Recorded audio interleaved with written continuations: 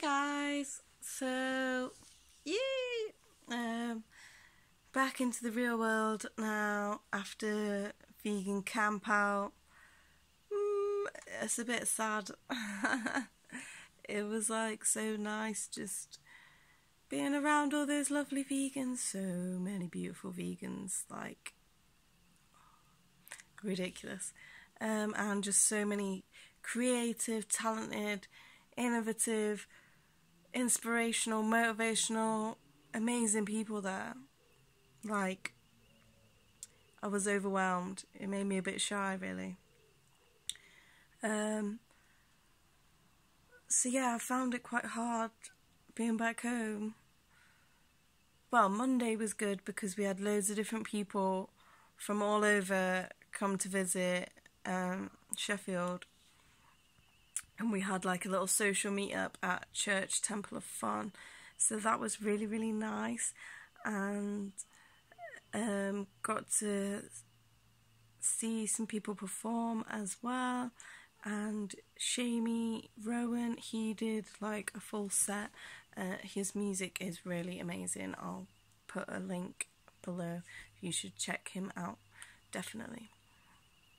Um, just such a beautiful voice and really nice lyrics and really like authentic, like it's himself and stories. And yeah, he run the open mic at the boot camp, activism boot camp at the camp out. And I think that's like his passion going around doing saves and basically getting people to express themselves through music as well, inspiring people to. So yeah, so he's busking about and doing saves. That's like the dream. So cool. Um, yeah, it's inspired me to want to travel and get more creative.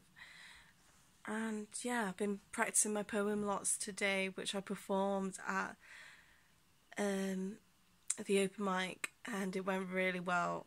And just thanks everyone for your support. Although I didn't read it quite as how I wanted to, I was a bit nervous and bit tired and stuff. So, so yeah, so I've been practicing that so I can read it. I'd really like to read it at the Animal Rights March on Saturday. That would be epic as fuck. So yeah. But yeah, back to Monday. It was a beautiful day.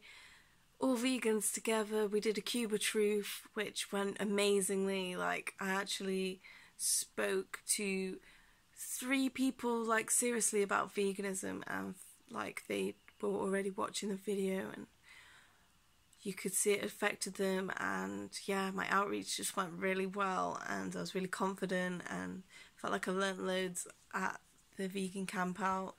So that and like all that vegan energy and positivity like was within me and I was determined to you know talk to people Although I've been doing good at talking to people anyway, but I felt like that solidified it for me to just speak to the general public rather than random people that approach me in random places.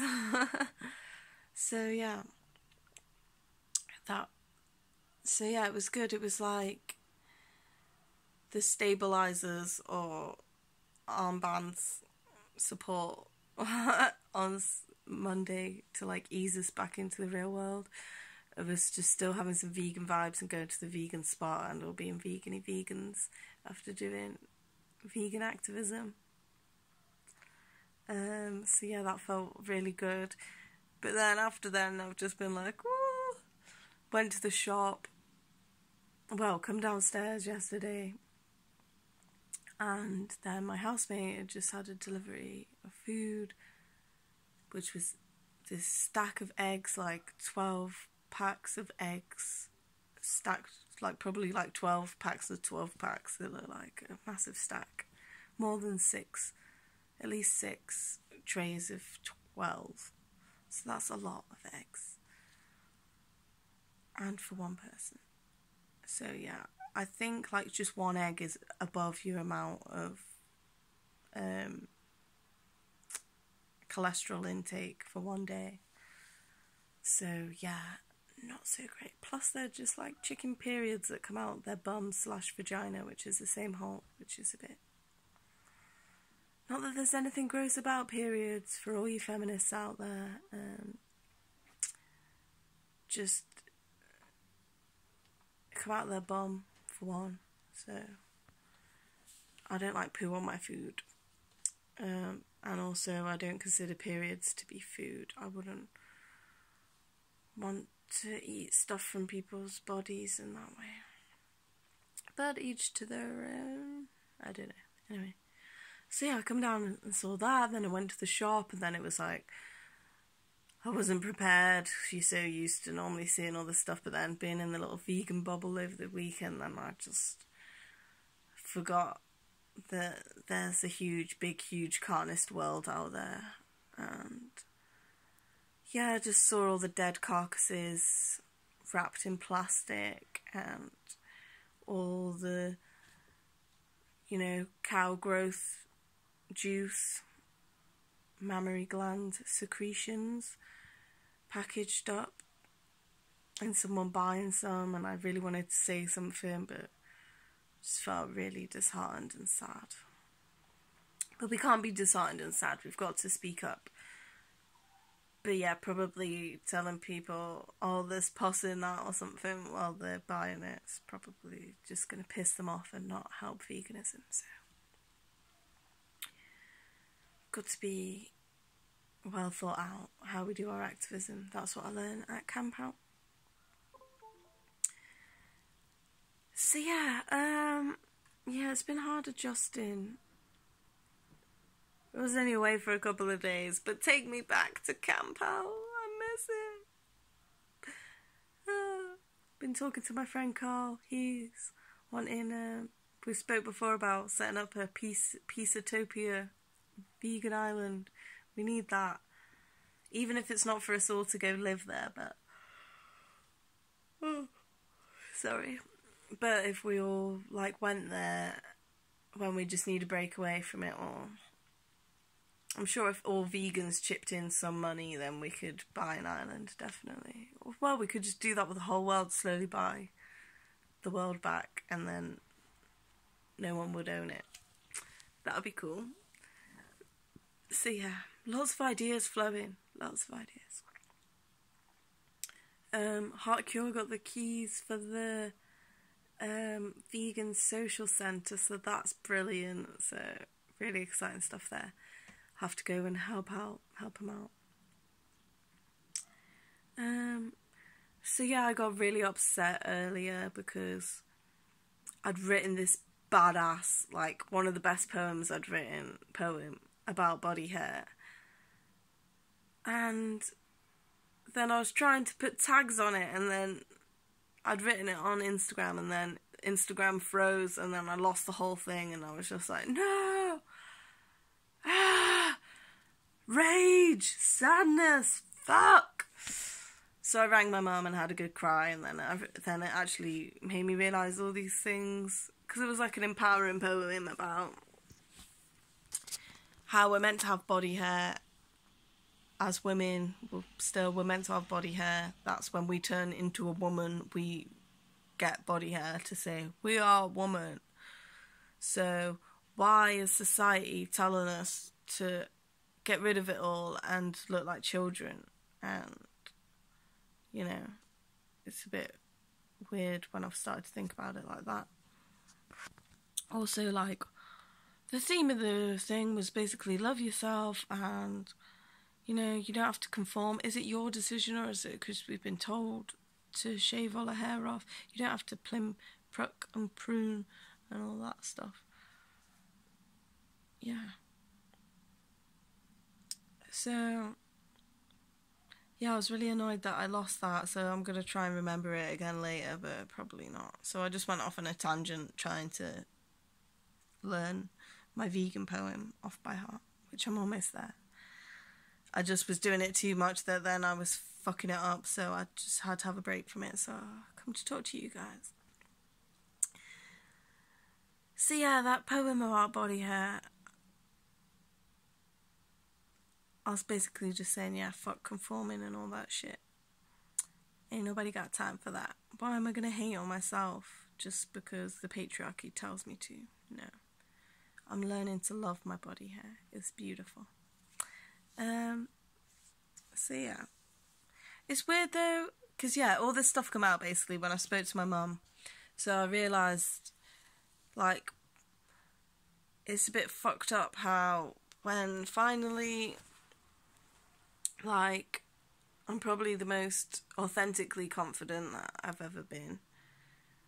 But then I don't know. Then I, I'm still more like maybe vulnerable, openly vulnerable than I've ever been. But then that's kind of makes you stronger. But then you feel weaker. It's a bit weird, but so yeah, it was a bit like why basically I was able to like you're able as a woman to pull more or like have more guys attracted to you when like you hate on yourself more or you're more insecure or I don't know, my mum was saying I come across as quite like confident and sure of myself and maybe that's not attractive to guys. Maybe guys want someone who's weak and defenseless and insecure. I don't know. But that's fucked up in itself. Um, like this fairy tale thing where it's like guys want to rescue a girl and girls have to be like damsel in distress and if you're not a damsel in distress nobody gives a fuck. I don't know. it's a bit weird. Um so yeah. But yeah, I released all this stuff because there's a weird duality. On one hand, I feel really confident and I know I'm beautiful and you know, I feel sexy, I feel cute, I feel all these things. But then on the other hand, sometimes I don't feel that way. I feel ugly and gross and disgusting and like nobody there's so much better out there, so why would they want me? So it's weird battling with these contradictory feelings inside of us and trying to overcome those. And try to, you know, still coming across as authentic, but then because we're such complex beings, it's hard to. We can be authentic in that moment, but moments change from time to time to time, so we could feel totally different one minute to the next. So it's not that we're being disingenuine, just humans are complex creatures and we can think and feel lots of multiple things depending on all the different factors coming at us. So, like at Camp Out, I felt totally overwhelmed by all the amazing, beautiful people there. And I wanted to like reach out and talk to these people, but then I just didn't because I just felt like I wasn't good enough. But then I felt like when I, at, right at the end, when I performed my poem and I felt like I had something to give and offer, then I felt ready to chat to people then, but then it was over, so that was a bit crap. Um, but yeah, it's a bit. Sorry. It's just a bit annoying, really.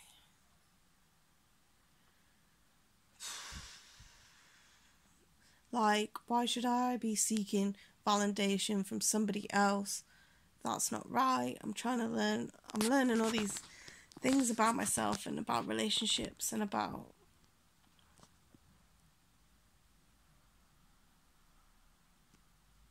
you know about relationships and love and things and I'm realizing, having all these realizations of where I've been going wrong before. But then the better I make myself to not go wrong, the less chance I feel like I have of having any romantic fun. Um, I don't know, it's really weird.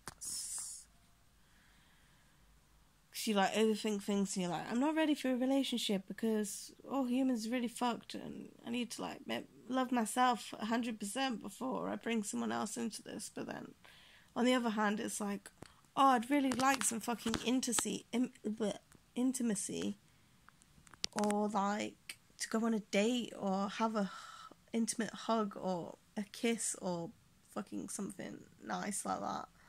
You know, I'm in my 20s. I keep thinking I'm meant to be having fun and doing daft shit.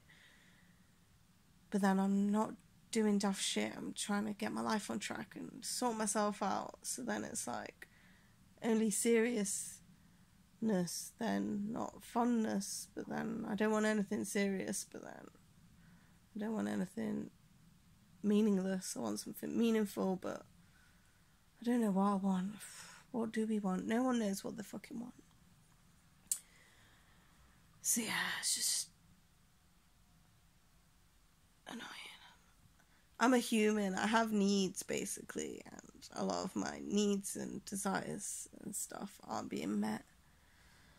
But then it's like, oh, we need to overcome these needs and desires and show discipline. But then it's like, oh, we can't show too much discipline because you need to have fun in life or you go fucking crazy. How do we balance? It's really hard. Um, and I thought I'd have some fun times at camp out, but then I just felt like I put too much pressure on myself and freaked out and just went to boot camp and learned how to be a better vegan instead of how to get laid. I don't know. yeah. Mm, I know things will like fall into place. Just trust the universe. Woo, trust the universe. But then sometimes it's like. I think just maybe because from like a young age, I've been in relationships. So like, my first long term proper relationship was when I was 15 and we were together until I was 16, almost 17.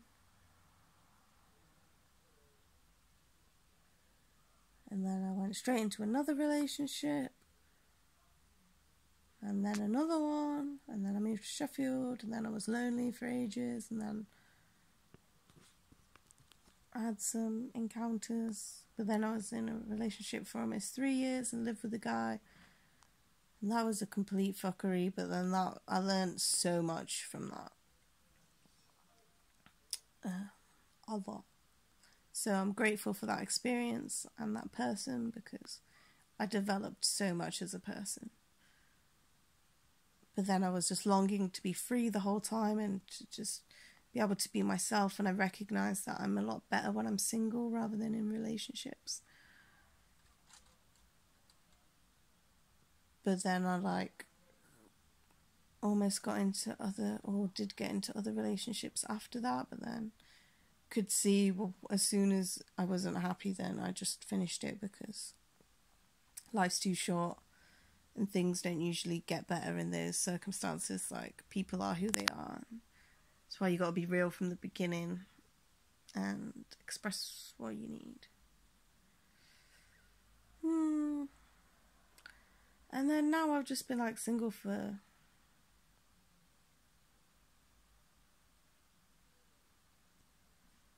almost two years. And